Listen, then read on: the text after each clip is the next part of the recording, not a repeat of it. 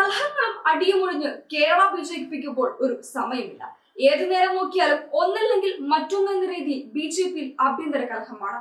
സംസ്ഥാന B J പിക്കെതിരെയും അധ്യക്ഷൻ K സുരേന്ദ്രനെതിരെയും പരസ്യമായി എതിർപ്പ് പ്രകടിപ്പിച്ചുകൊണ്ട് മുൻ സംസ്ഥാന ജനറൽ സെക്രട്ടറിയും ഇപ്പോൾ വൈസ് പ്രസിഡന്റുമായ ശോഭ സുരേന്ദ്രൻ മുൻ സംസ്ഥാന വൈസ് പ്രസിഡന്റും പാർട്ടിയുടെ ദേശീയ കൗൺസിൽ അംഗവുമായ പി എം വേലായുധൻ എന്നിവർ രംഗത്തെത്തിയിരുന്നു.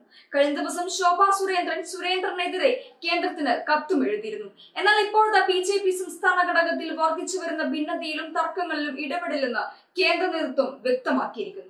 സംസ്ഥാന ഘടകങ്ങളെ പുനഃസംഘടിപ്പിക്കുന്ന ഘട്ടത്തിൽ യുവാക്കൾക്ക് മുൻഗണന നൽകുക തുടർച്ചയായി ഭാരവാഹികളാകുന്നവരെക്കാൾ അല്ലാത്തവർക്ക് പരിഗണന നൽകുക നിരവധി ഭാരവാഹികളായ എഴുപത് വയസ്സ് കഴിഞ്ഞവരെ ഒഴിവാക്കുക തുടങ്ങി ചില നിർദ്ദേശങ്ങൾ കേന്ദ്രം മുന്നോട്ട് വച്ചിരുന്നു.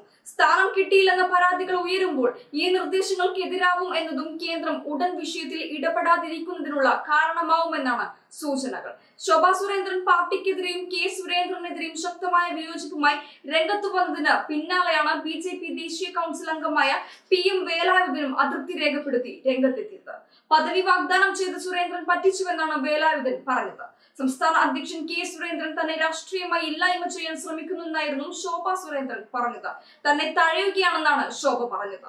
തെരഞ്ഞെടുപ്പിനിടെ ശോഭ പാർട്ടി വിട്ടാലും തെരഞ്ഞെടുപ്പ് പ്രചാരണങ്ങളുമായി സഹകരിക്കാതിരുന്നാലും അത് ബി ജെ പിക്കും ആർ എസ് എസിനും വലിയ ക്ഷീണമുണ്ടാക്കും. കഴിഞ്ഞ ഞായറാഴ്ചയും ശോഭ പാർട്ടിയുടെ സമര ശൃംഖല പരിപാടിയിൽ പങ്കെടുത്തില്ലായിരുന്നു. ഇതിനിടെ ബി ജെ പിയുമായി ഇടഞ്ഞ സഖ്യകക്ഷിയായ ബി ഡി എച്ച് എസുമായി ശോഭ സുരേന്ദ്രൻ ധാരണ ധാരണയുണ്ടാക്കാൻ ശ്രമിക്കുന്നെന്ന വാർത്തയും കഴിഞ്ഞ ദിവസം പുറത്തു വന്നിരുന്നു ഇത്രയും പ്രശ്നങ്ങൾ ബി ജെ പിയിൽ ഉടലെടുത്തിരുന്ന ഈ അവസരത്തിലാണ് കേരള ബി ജെ പിയിൽ പ്രശ്നങ്ങൾ ഇടപെടില്ലെന്ന് പറഞ്ഞ കേന്ദ്രം ഇപ്പോൾ മുന്നോട്ട് വന്നിരിക്കുന്നത്.